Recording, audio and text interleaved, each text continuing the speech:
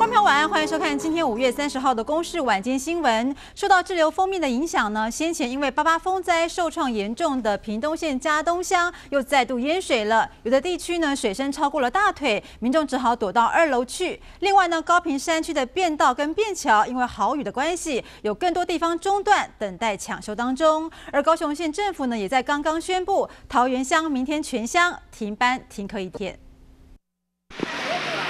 一夜大雨，嘉东乡枪原村民一早起床，发现屋外已经成了一片汪洋。有人想要强行通过，想不到水已经淹到大腿以上。有民众则是爬上二楼避难。镇内底物件爱爱伊水啦，地下一个抗站的村都会刷标啊，无较个过风公所安尼啊，河安尼啊。你要是哪边客啊，哪边客啊，前行这拢无代志啦。淹水不深的地区，村民则是赶紧涉水出门，多买点存粮回家。还好雨势在中午前就停了，水也慢慢退去。不过去年被莫拉克重创了养殖区，排水系统严重淤积，即使雨停了，水位还是逼近桥面。怪手赶紧施工，要维持水流畅通。今天大白啦，啊，最后这边好爷白了对啊，对啊，对啊。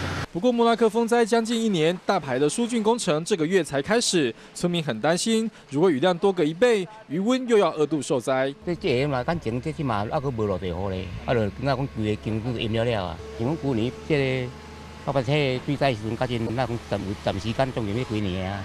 哦，店面讲拢无去点当着啊。啊，尤其是佮阮这边的海林这边的这条河啊。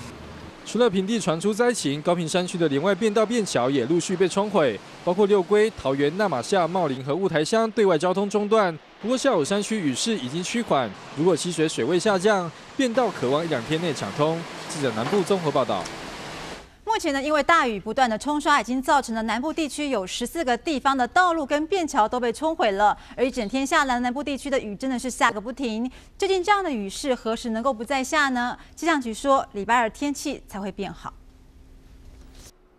受到滞留封面影响，加上西南风助长对流旺盛，南部地区今天不止山区下好雨，连平地都有间歇性大雨。那今天主要还是受到呃自流封面的影响。那自流封面呢，今天在南部地区所带来的呃上升气流还有负荷作用是最强的，所以今天南部的平地产生了非常大的雨势。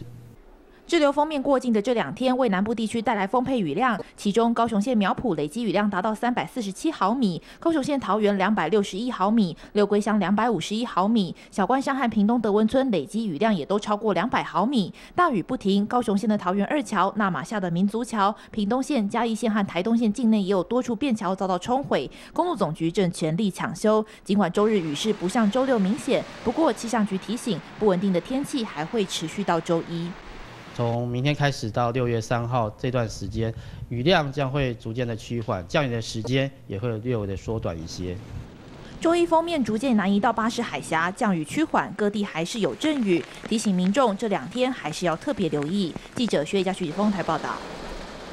今天还有一个新闻焦点呢，就是台中县有一位才九岁大的小妹妹，妈妈呢要她去买木炭，而这名小女孩呢发现妈妈可能要寻短，所以打电话报警救回了母亲。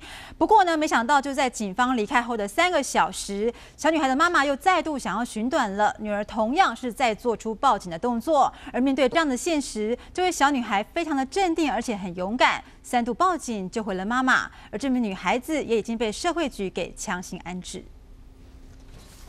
女童发现妈妈好像在房间吃了什么药，意识不太清楚。女童赶紧又打了一一零报警。我只想死而已，我不想，我想把我送在，留给我接的。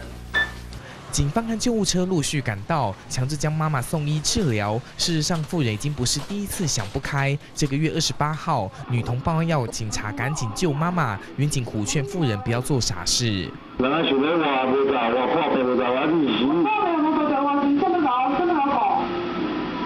怎么说富人就是不开门？远景把门踹开，垃圾桶里全都是点燃的木炭。远景一面安抚，一面将木炭搬走。不过三个小时之后，富人再度情绪失控，自己出门买木炭。一旁的女儿觉得不对劲，再度要警方赶紧救妈妈。